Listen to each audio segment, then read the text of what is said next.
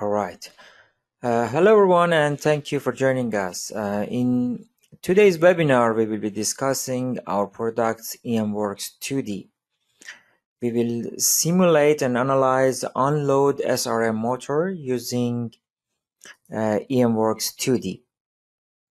Before discussing today's agenda, let me introduce uh, ourselves. My name is Hassan and I'm sales engineer in EMWorks and we will have our senior product manager Mahmoud who will be delivering the technical part of today's webinar. Our agenda for today is the following. I will briefly talk about our solution, advantages and benefits in general and what products we offer. Then my colleague will present the technical part. At the end of the technical presentation, I will talk about licensing, services, and various learning resources offered by EMWorks. The idea of the integration into a CAD tool is truly innovative. What happens conventionally is uh, that if you want to use new simulation software, you have to put tremendous effort and, and amount of time to learn a new modeling environment first and only after you can start your simulation. Furthermore, usually modeling features inside the simulation softwares are very primitive. It was not meant for complex geometries. So why don't you get the privileges of using the best CAD tools in the world either is SolidWorks or Inventor. Even if that is not the case and you already use your own CAD tool to model, so now it's time to import an, your model into your uh, simulation tool. But what if you want to change different parameters and geometry uh, and see the result on the spot? Yes, you should export and import a lot of times. You have to switch between the two softwares multiple times to reach the optimum result.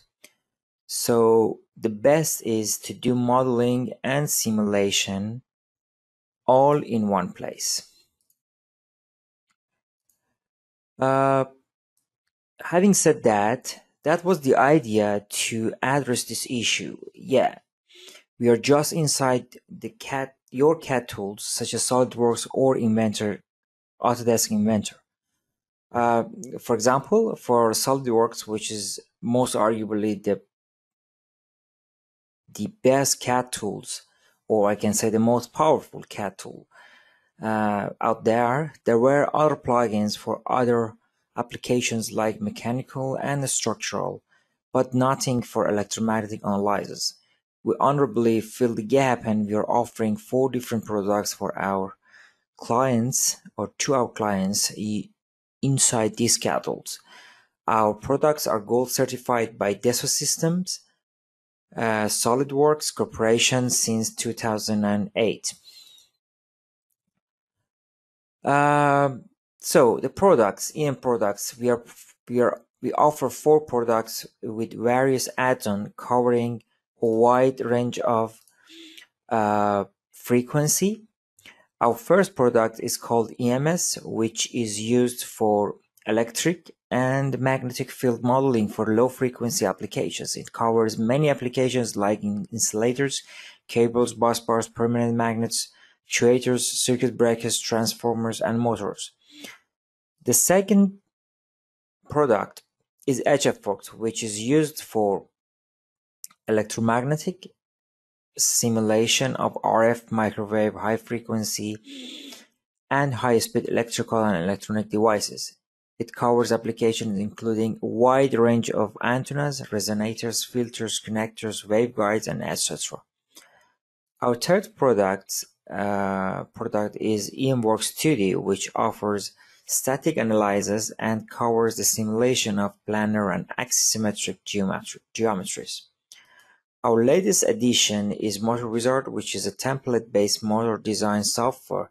It offers analytical and finite element analysis for BLDC and PM motors. In addition to these solvers, we offer few multiphysics solutions like thermal, motion, linear statics, and circuits. Uh, in today's webinar, we will utilize EMWorks 2D software to simulate and analyze on-load SRM motor using EMWorks 2D. I would now request uh, Mahmoud to take over and uh, present uh, the next part of this presentation. Thank you. Thank you very much. Uh, I'll take over the presentation from here about the on-load analysis of the synchronous reluctance motor using EMWorks 2D software. Uh, the, this presentation uh, includes the introduction about the reluctance torque and synchronous reluctance motor and uh, we, we, are going to continue talking about the power transformation and DQ parameter which is important to for the simulation process and understand how we can make the maximum torque from uh, uh a motor. And uh, at the end we summarize our uh, our presentation. And at the end of the presentation we will answer the question.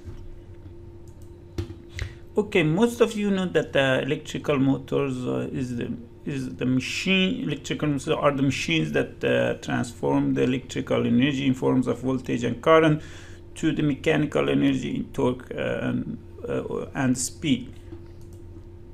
Uh, in electrical machines, there are two type of the uh, torque which can be generated by a motor, which is the magnetic torque and the reluctance torque.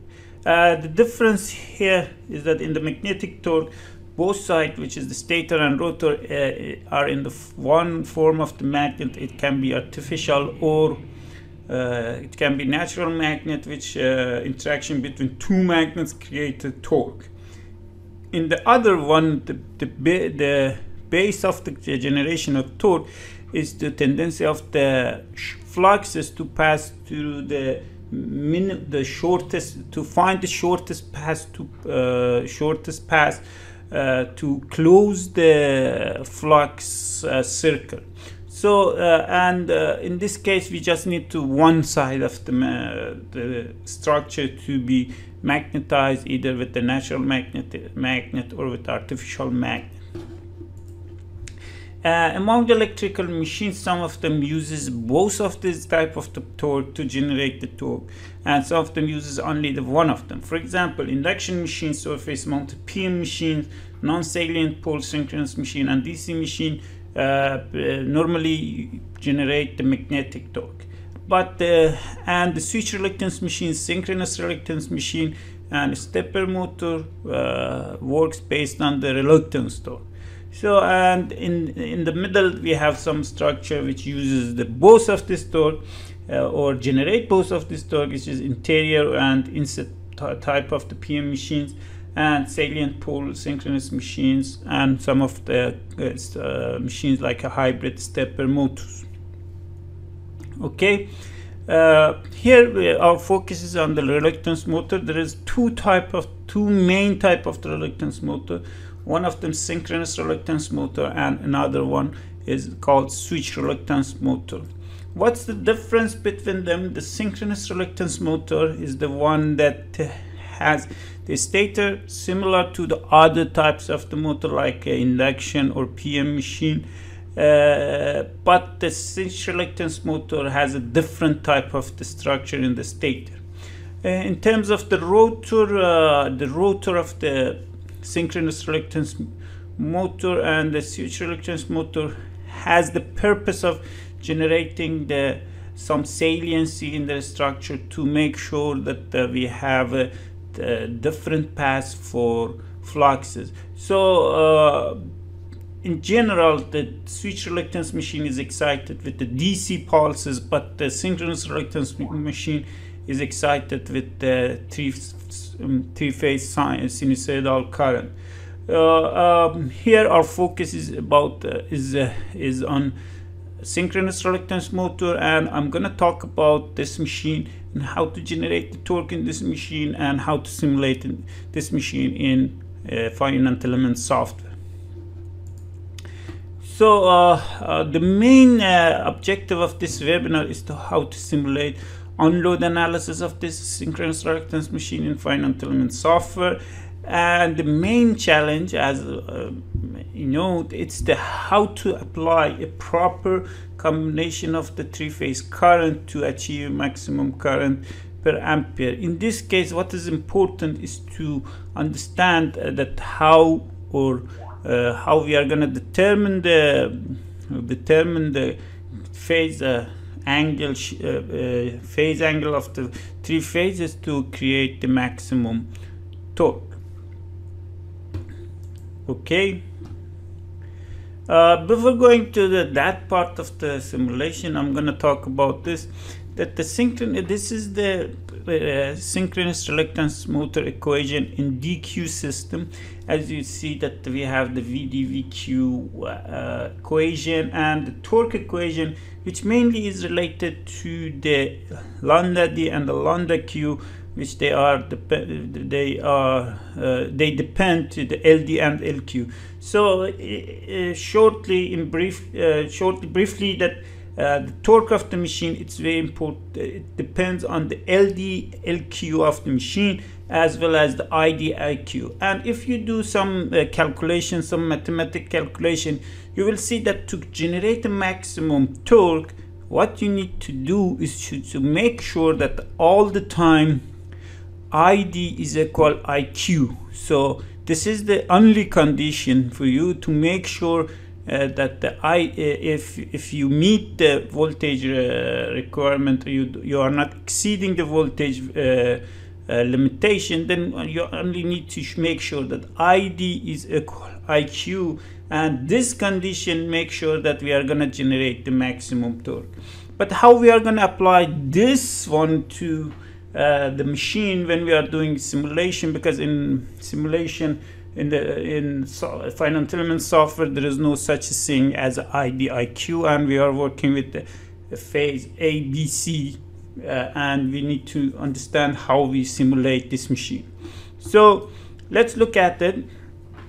Uh, to understand uh, and to transform the, our values uh, from DQ inductance DQ system to ABC system or vice versa, we use the Park transform or in our case we are going to use the inverse Park transform. In this case what we need to know we have to uh, understand where is our uh, vectors and we define our vectors. The normal way to define the vectors uh, and to define this Park transform is that uh, we have to find the angle between the d-axis of the DQ system and the phase A axis. Okay, uh, of course there is another type of the DQ park system. You can define another type, but here we are going to focus in this one, and I'm going to explain how you do this one.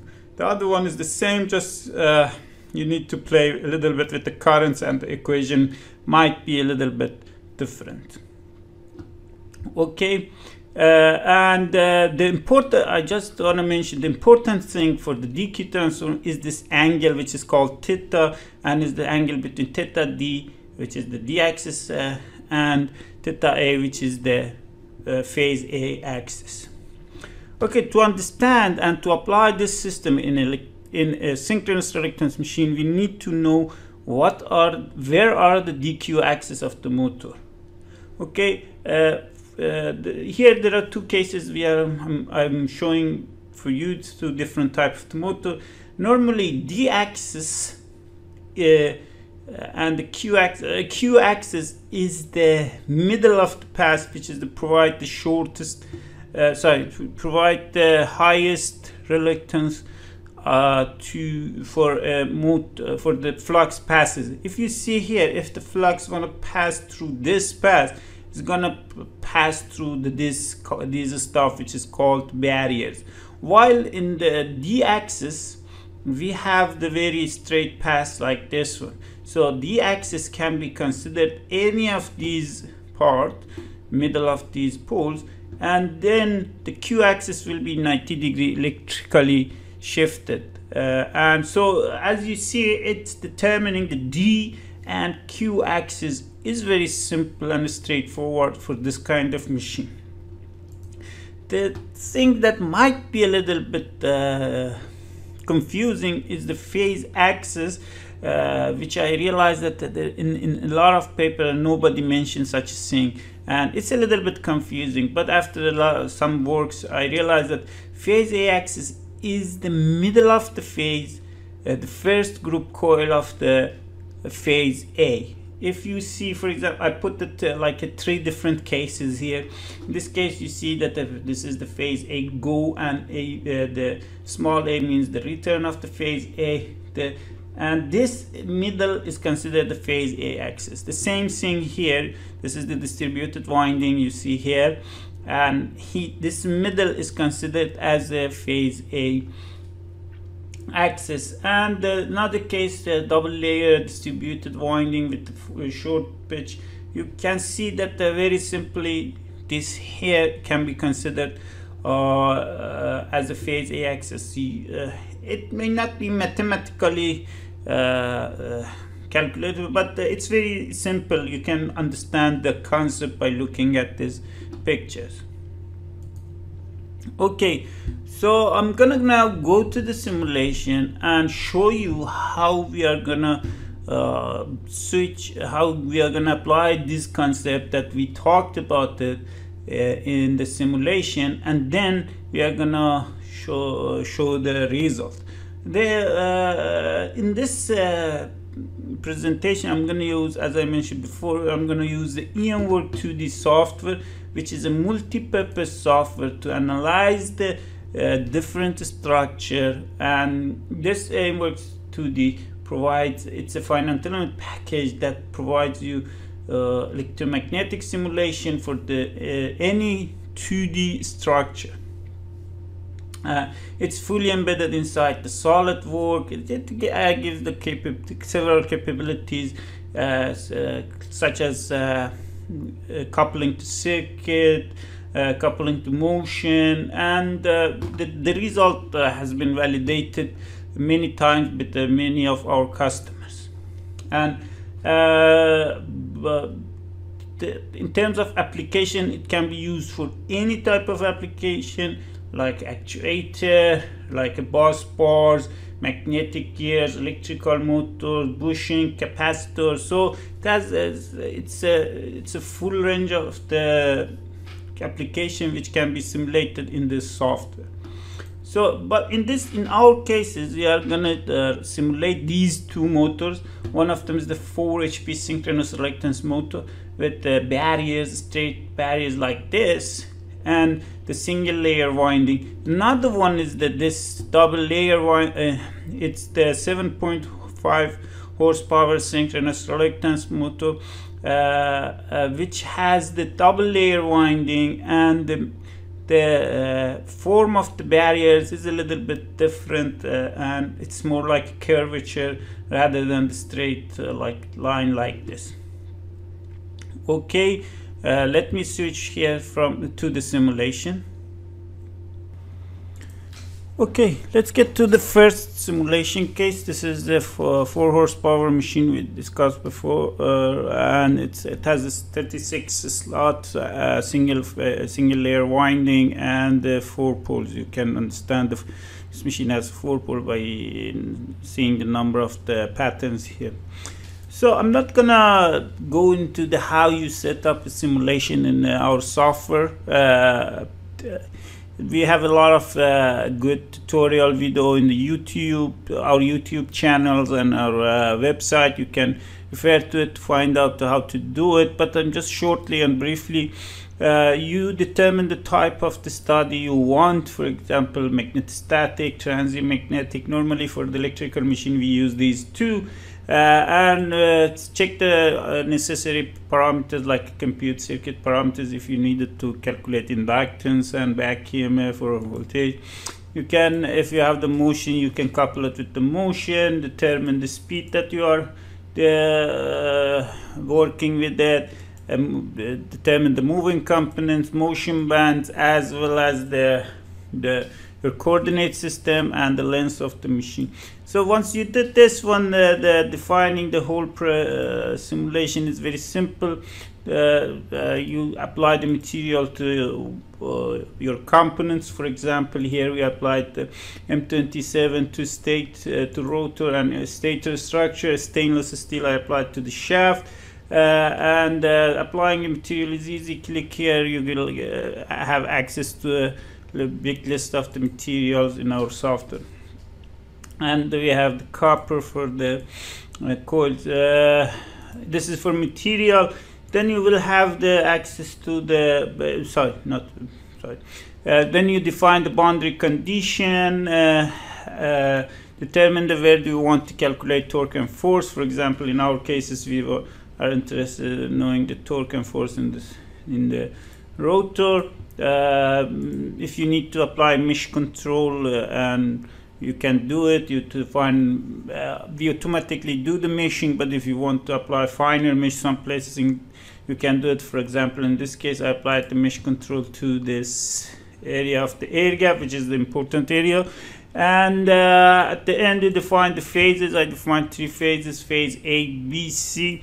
And for each phase we have the go pass and the return pass. If you like see here go pass and return pass you can define the number of the turns and the wire size here uh, and the direction of the current positive or negative. Uh, and uh, this is what we do. Uh, and we run the simulation. So as I said, uh, if you are interested to knowing how to set up a motor simulation, you can go and check our YouTube channel. We have very nice tutorial in this case and you can do it. I'm go just gonna dive into the result and discuss the result with you. I did uh, like a couple of simulation. The first simulation I did, I wanted to see the inductance of the how the inductance of the this machine uh, is changing at different uh, rotor position. So what I did, I wanted to, the main important inductance here is the uh, self inductance of the each phase. What I did, I applied the 18 ampere, which is the rated current, uh, to the phase A, and the phase B and C I considered as a, a zero. So I ran the simulation and I check the result. This is the uh, if you are wanna see it uh, I have this result inductance versus the uh, rotor angle uh, which is in the degree. And uh, here you see the inductance is changing. Similar to switch reluctance motor we have a maximum inductance minimum inductance and the slope of this inductance which is important for the torque generation. In this case you see the inductance is like a 45 millimeter 45 millihenry maximum and it reaches to 10 millihenry in the minimum case. Uh, uh, yeah that's it. So here uh, you can check this. The other I did another simulation with the same story in this but, here I applied half of the current 9 milliamp uh, 9 ampere and the phase BNC is 0 uh, let's check the result again okay? I want to see the rotor angle here and the inductance uh, here and the self-inductance phase AA yeah you see here the difference here you see it's that waveform is the same but the value has changed. The maximum value was like, like 45 millihenry now is 70 millihenry and the minimum is 20 the previous one was 10 millihenry uh, this is a very important uh, uh, thing uh, point that you have to remember that the uh, saturation has a significant effect in the, on this machine and uh, you know that the inductance is changing significantly with uh, this uh, saturation phenomenon and uh, you see here that uh, uh, I'm gonna tell you that these but and this difference between max and mean is very important in the torque generation of this machine uh, and there is something called the saliency ratio which is related I believe it's the ratio of the uh, in DQ inductance uh, D axis to q axis inductance. I'm not going to get into it i'm just saying to let you know that there is something called like this. And this is completely based on these differences between the minimum and maximum. So uh, one point from these two simulations that you have to learn that inductance is very important in this machine and it changed significantly with the current. Let's go to the sim load simulation. Uh, uh, for the sim load simulation, I run I, I set the speed as a 1500 RPM. So I wanted to run the simulation and uh, the main parameter is to apply, to apply the current. Uh, the free, as I mentioned, the speed is like a 1500 and then uh, we have like a 50 ampere uh, sorry 50 hertz frequency and 18 ampere uh, is the maximum current. I set uh, this uh, phase shift randomly to this value. And phase B and C will be shifted by sorry by uh, my 120 uh, degree. And uh, I run the simulation let's check the result you see that in this case the torque is around the average torque is around 18 newton meter which is quite uh, good for this machine but you can notice that this machine has very high torque ripple so uh, this is the, the torque we generate with 18 ampere and that current angle. Let's go to the next simulation. It's the same simulation, but the, there is a difference that here the, this phase angle is different. So I set this angle to generate the maximum torque. Uh, and I'm going to tell you how I set this angle. You see ABC, uh, we just need to know what is phase A, okay? and then the BC is gonna be shifted with uh, 120 degree let's check the torque here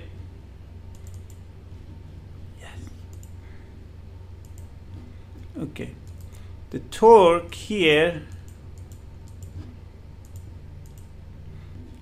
the, the average torque is, is the 28 and it's very interesting you know because uh, previous one it was like uh, 18 this one is like 27 28 it's uh, so the current value is the same the frequency is the same but you see that the one angle has a significant effect on the performance of this machine. So how we determine this angle to get the maximum torque okay? So i'm to explain to you simple. Let's back to the our uh, presentation. Here there is this is the procedure okay? What you have to do first determine the phase A axis and then phase D axis and then you calculate the theta which I discussed during the Park transform and the Park transformation here theta is theta D minus theta A so you do this one for the initial position. Then set the ID equal to IQ, which is going to be equal to IM uh, divided by square 2. In IM, in our case, is like 18. And you can calculate ID IQ. Then using the Park transformation, you transform the IDQ and calculate the IABC in the initial position. You get these values. Okay. Then then you calculate the phase A current angle using this simple equation. Uh, phi uh, is equal to sine, uh, arc sine of the I over uh, IA over I max. Okay, so just uh, please don't be confused. This is the, the phase A axis and this is the phase A current angle. So this these are the different. This is the one we determine based on the configuration. This is the one we apply to the current. Okay so once we have the phase a we can calculate the phase b and c angles by just simply subtracting by minus 120 degree and minus 102 minus 240 degree and then run the simulation. So let me show in the simulation what are these meanings okay we uh, let's back here. So the first thing determine the theta d axis. I mentioned about the theta d axis here or here or here or here it can be considered as theta d axis for simplification we consider this one. Okay here is the theta d. Let's consider here as a zero degree angle uh, as a reference. Okay so here uh, based on what I know it's gonna be around 45 degree. And this 45 degree it's in the mechanical degree and it's gonna be around uh, multiplied by the pole pair it's gonna be 90 electrical degree. So theta d is 90 electrical degree. Let's go for the phase a. The phase a let's see this is the a plus and this is the a minus. We can uh, select any of these coils okay this one or this one. But uh, let's if this is a plus and a minus then here the middle of this one sorry. The middle of this one it's it's the phase uh, a axis. You see that these three was the positive these are the negative one. Now the middle is here. It's uh, if you calculate one two three four five six it's going to be 60 mechanical degrees.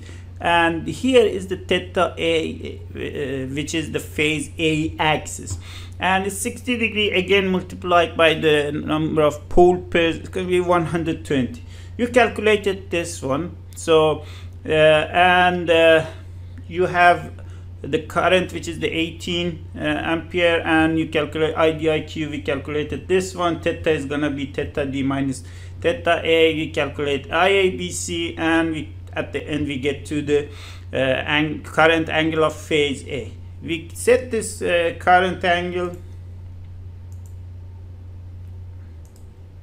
Yeah sorry. We set this current angle and then uh, we use the we apply that one to here in the phase A definition. And the phase B and C as I mentioned is just shifted by the minus by 120 degree just note that that uh, there we are calculating the current sorry the uh, the angle and here we need to apply the time uh, transforming the current to sorry angle to the time. It's easy. We have uh, 50 hertz. That means full period is gonna be 20 millisecond and 20 millisecond is equivalent to 360 degrees. So you can do the math and reach to this value. So you apply and uh, this angle and you can make sure that uh, you can be sure that you are gonna get the maximum so the other, other result you can also uh, have access here energy resistance flux linkage of the phases induced voltage or core loss. You can see uh, it's up to you what kind of result you are looking for. For example you can see here the core loss is like a 50 round 50 for the uh, stator and round 20 for the rotor so uh, that's the simulation for this motor Okay, let's move to other motor. This is the another motor, 7.5 horsepower, same as before, 4 pole 36 uh, slot uh, and double layer winding. Uh, we did the same simulation here. I did uh, the, let me show the result uh, because everything is the same uh, in the inductance that I was showing previously. Here you can see that the inductance is changing. It's, the same it's, uh, uh, here it's like just I forgot. It's like uh, it reaches to around 90 millihenry and the minimum is like 55 millihenry and uh, then if you reduce the current and check another current inductance you can see phase A inductance uh, the inductance is changing. It's from 90 reach to 7, so 155 and the, the minimum is like like 90. The previous one, the 90 was the maximum. So you see the change of the inductance is a different current. Again, I run two simulation with one with the random, uh, just without any um, not it's not exactly random, but it's different than the maximum current. You may, if you put random, you you have it, you may get the negative torque or some nonsense. But uh, uh, here I tried to just to show you the not being not precise is going to cost you the the wrong result in terms of the value. And uh, I uh, did the maximum torque again maximum current simulation sorry torque uh, and you see here the torque reaches the 35 newton meters much more bigger than the previous one and so uh, it's uh, it's uh, it's the same story that we had. Just to note that here mm, the d-axis here is this one.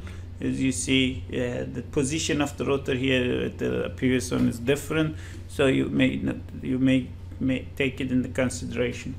So let's uh, that's it. Uh, the, this is the whole simulation. Let me back to the final part uh, let's uh, recap. Yeah you saw that uh, the inductances for the first machine was changing and uh, uh, this is the torque that we got at the maximum torque around 25 we had this result in the in for the core loss 50 and 20 for the rotor side then we had this one for the 7.5 horsepower machine, which uh, the inductances, as you see, is changing uh, significantly, and the torque of around uh, maybe 35, uh, almost 40. Uh, and the core loss again is bigger because uh, 80 and around 30 is the rotor core loss. that's it for the whole simulation. you saw in this simulation how we run the how uh, we can simulate uh, uh, a synchronous reluctance motor. You saw it, and we learn how what the DQ model is that and how this model can help us to determine the uh, angles to calculate the maximum torque. Uh, thank you very much. Uh, I'm gonna, before answering the question, I'm going to hand over the simulation to my colleague and then we will answer the question after my uh, after my presentation. My, my colleague finished the presentation. Thank you very much.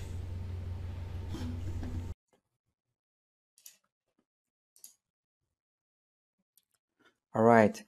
Uh, thank you mahmoud and thank you everyone for bearing with us and i hope you have learned enough uh, from this webinar so far let me briefly touch upon the licensing structure offered by EMWorks. We offer three different programs, commercial, academic, and startup programs.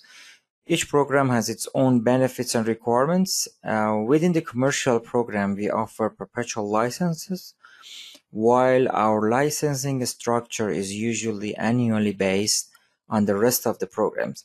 We have a combination of free and paid licenses for students, academics, mentors, lecturers, and professors based on the program they choose. For startup programs, we offer we are offering a very interesting plan for paying in installment.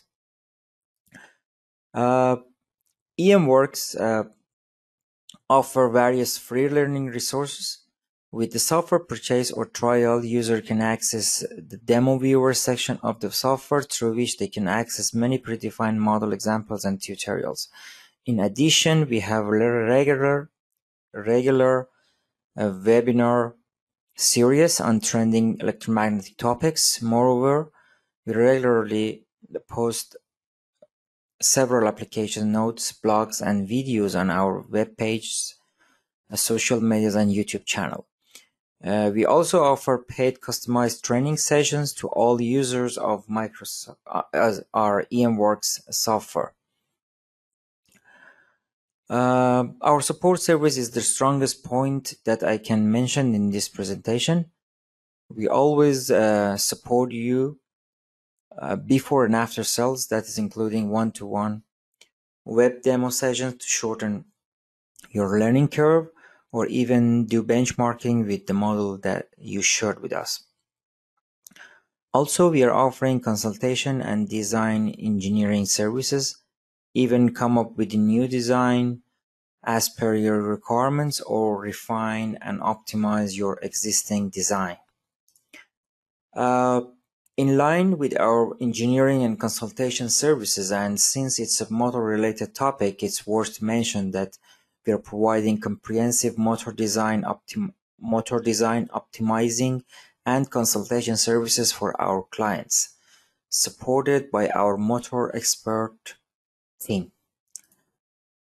Uh, these are only a couple of our respected clients. These big names are coming from different industries showing our comprehensive and extensive solution.